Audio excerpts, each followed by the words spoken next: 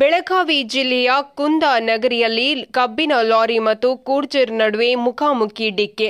ಉಮರಾಣಿ ಗ್ರಾಮ ಹತ್ತಿರ ಬೀರೇಶ್ವರ ದೇವಸ್ಥಾನದ ಹತ್ತಿರ ಈ ಘಟನೆ ಸಂಭವಿಸಿದೆ. ಘಟನೆಯಲ್ಲಿ ಇಬ್ಬರು ಸವಾರರು ಸ್ಥಳದಲ್ಲಿ ಮೃತಪಟ್ಟಿದ್ದಾರೆ. ಮೃತಪಟ್ಟವರು ಕೂಶಪ್ಪ ಕಂಬಾಳೆ, ಸಂತೋಷ ಬಾಗೇವಾಡಿ ಎಂದು ಗುರುತಿಸಲಾಗಿದೆ.